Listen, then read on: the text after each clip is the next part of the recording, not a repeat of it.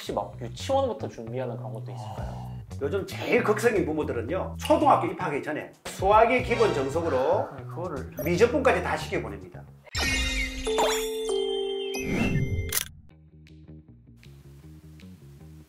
안녕하세요 여러분. 연꽃 아니죠. 이제 가게학어겨 고교의 신입으로 찾아온 안종휘라고 합니다. 제가 한 달 전에 연고TV에서 이제 마지막 안녕 안녕 영상을 찍었는데요. 제가 입시 유튜브에서 활동했던 만큼 이번에 여러분들에게 실제로 입시 학원을 등록하고 그런 모습을 공유드리려고 이렇게 찾아왔습니다. 혹시 종민님 학원 때 무슨 학원 다녔나요? 아 저는 그 예비 고3 때 강남대성 혹시 초등학생 유니반 들어봤나요? 음, 초등학생이요? 아니요 저는 초등학교 때 아예 입시 관련된 걸 몰랐어가지고 의대 막 그런 거 그래서 같이 보호자로 동행해 주실 의대왕 서울대 의대분이 오기로 했거든요. 아 서울대 의대군요 안녕하세요 안녕하세요. 네, 오랜만에 다시 불러주셔서 찾아뵙게 된 서울대 의대 구민준이라고 합니다. 짜장 짬뽕 하나 둘 셋. 짜장. 아, 아, 아 이거 짜장 흔치 않거든요. 민초 반민초 하나 둘 셋. 반민초. 아, 민준님 혹시 의대반 학원을 다니신 적 있을까요? 아 이렇게 의대반이라고 따로 이름 붙은 학원 다닌 적 없고 대치동에 있는 학원들 다녔던 것 같습니다. 아 그럼 혹시 주위의 의대생 분들 중에서는 그런데 등록하셔가지고 공부하신 분들이 그래서 몇 명 정도는 이렇게 의대반 준비해서 온 학생들도 있는 것 같아요. 초등학생 의대반 아. 들어보신 적 있으실까요? 진짜 저 와서 처음 들어봤는데 아, 지금 초등학생 때부터 이렇게 의대 준비를 하면서 공부를 해야 되나 좀 의아하긴 하네요. 저 저도 약간 초등학교 때 하면 약간 얼음땡하고 네, 굴러다녔던 것 같은데 약간 거의 구몬 그런 네, 거 구몬. 아. 만화책 좀 읽고 그쵸. 그랬던 것 같은데 아, 저도 초등학생 의대반 어떨지 좀 궁금하네요. 네, 이렇게 궁금한 초등학생 의대반 직접 등록을 하고 이제 만나보러 가보겠습니다. 들어가겠습니다. 가보시죠. 안녕하세요. 안녕하세요. 그 혹시 여기가 저희가 듣기로 초등학생 의대반이 있다고 들었는데 맞을까요? 네, 맞습니다. 오늘 접수하려고 하거든요. 초등학생 반을요? 아, 네, 여기 서울대 의대생이셔가지고 여기 그냥 저희가 싹 다. 안녕하세요. 안녕하세요. 소개 한번 간단하게 될까요? 네 안녕하십니까 최경환 수학 원장입니다. 안녕하세요. 수학학원 총원장 최다희입니다. 네, 저희들이 이제 수강을 하기에 앞서서 질문을 혹시 드릴까요? 네, 원장님 혹시 의대 출신이실까요? 아니요.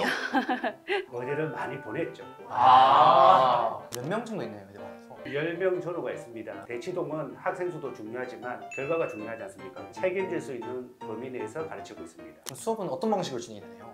1대1로 초등학생 때부터 입학할 때까지 책임지고 관리하고 수업합니다. 그러면 혹시 의대반 말고 다른 일반 반도 운영을 하고 있으실까요? 대치동에 오는 초등학생들은 국내에서 명문대를 지망을 할지 아니면 나중에 해외 유학을 갈지 정해지지 않은 학생들이 많아요. 국내 수학 같은 부분이 조금 더 비중이 많아지는 게 의대반이고요. 해외 수학이 조금 더 비중이 많아지는 부분이 일반 초등반입니다. 이런 의대반은 언제부터 개설되었을까요? 한 1년밖에 안 돼요. 지방 의대들이 지역 의대라고 40%를 뽑기 시작했고 앞으로 이 비중이 높아진다는 거 지방대 의대 가기 정말 힘들어진다. 빨리 가는 거에는 방법이 없지 않습니까? 그래서 제대로 이렇게 된 거는 그게 작년 초부터 아닌가 싶습니다. 2022년 기준으로 우리나라 의대 합격자 1등이 신문고지 않습니까? 그죠? 좀 극성스러운 집들은요 초등학교 때부터 신문고 내신을 준비합니다.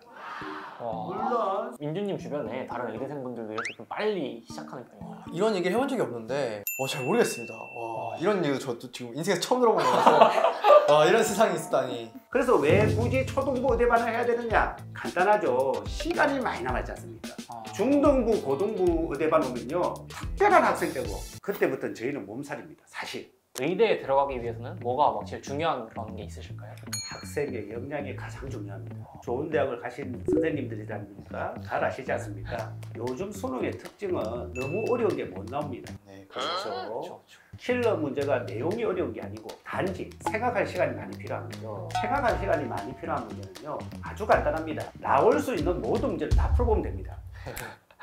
그러니까 학생들이 제일 힘들어하는 게 뭐냐면 수투의 미적분 있지 않습니까? 그죠? 마음이 쫓기면 계산 실수를 많이 할 수밖에 없지 않습니까? 그렇죠, 그렇죠. 그러니까 나올 수 있는 모든 문제를 다 풀게 하고요. 거기에서 계산해서 버벅거리는 거 있지 않습니까? 그죠? 그 학생한테 맞춤형 비법을 가르쳐 줍니다. 사실 저도 계산 실수가 좀 많은 편이어가지고 엄청 계속 검토하는 습관을 길렀었거든요. 그렇죠. 그 계산은 언제 배운지 한번 생각해 보십시오.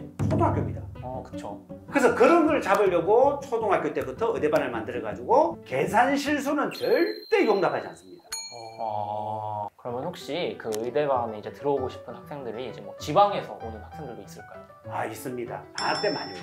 서른까지 다 포함하면 제주도에서 오시는 분 받고요. 어, 부산은 기본이고 목포, 대전 많이 옵니다. 어. 그래 그런 분들도 원룸을 많이 빌립니다. 그리고 세 명, 네 명이서 아, 네 기숙사처럼. 예, 그렇죠.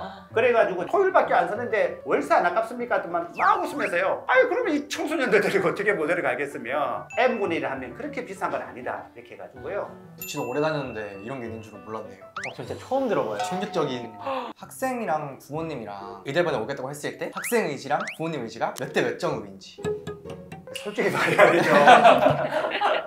10대 0인가요? 학생들이 전부 다 일이 튀어나서 옵니다. 그러면 이제 저희 같은 사람의 역할이죠. 그래서 학생들한테 하는 이야기 간단합니다. 어디 갈 실력이면 못 가는 거 어디 있습니까?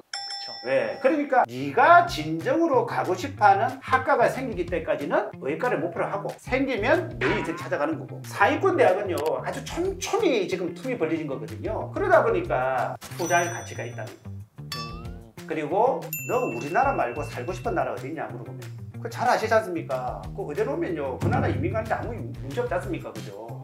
학생들한테 그 이야기를 하면 일단 50% 맥힙니다. 왜? 혹시 예를 들어 역량이 좀 부족한 학생이나 약간 끈기가 없는 학생도 혹시 의대반에 들어올 수가 있네요. 아유 그렇죠. 그런 학생이 와야죠. 어. 가장 많이 하는 이야기가 뭐냐면 너는 어리고 토끼와 거북이 이야기 잊지 마라. 토끼 놀 때 거북이 안 놀면 됩니다. 특히 제일 마지막 경우가 정시거든요.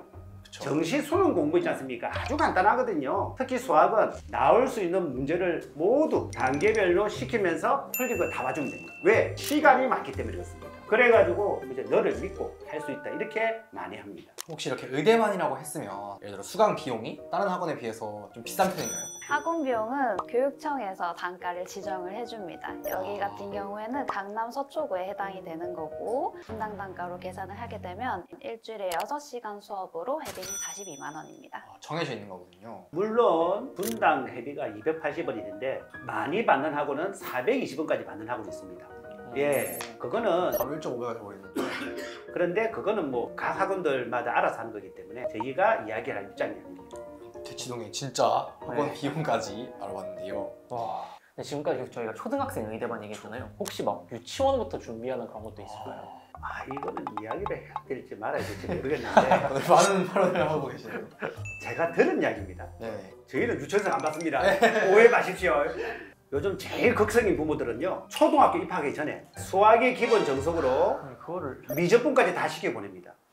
초등학교 가기 전에요? 네. 그게 그럼 애들이 할 수가 있나? 아니 글씨 잘 못 쓸 것 같은데. 그러니까 또요? 고등학생들도 힘들어하는 공부를 제 제자가 모임을 갔다 가지고는 저를 찾아왔어요. 선생님, 선생님. 아니 유치원생을 그 수- 아무리 수학이 기본 정석이지만 미적분까지 이해시키는 게 가능합니까? 그래서 그랬거든요. 그래서 가능하지. 내 정도 되면 왜못 하겠느냐? 그러면 우리 애를 선생님이 좀 해주십시오라고 부탁을 했습니다. 와. 그런데 긴덕이었어. 그런데 안 한다. 왜? 아동 학대다. 아, 초등학교 저학년 때부터도 얼마든지 가능한데 왜 굳이 지옥을 유치원 때부터 그러지는 마라 그랬거든요. 혹시 그럼 민주님은 유치원 때 수학 공부 하셨던 게 기억이 안 나요? 기억이 안 나는데 와 초등학교 때도 막 구멍 풀고 막 진짜 6 곱하기 8뭐 이런 거 그러면 혹시 그렇게 이제 빠르게 진도를 나가는데 미적분을 다 저학년인 친구들도 배우는 건가요? 이 사람들이 잘 모르는 게요. 미적분학이라는 것은 초등학교 수학부터 중학교 수학에도 구석구석에 다 들어있습니다. 음. 왜냐하면 미적분학의 시작이 집합 명제지 않습니까? 그죠? 그 다음에 수열을 극한을 넘어가지 않습니까? 극한. 예를 들어서 순환소수 0.99999가 1이냐? 사실 그것도 극한이지 않습니까? 네.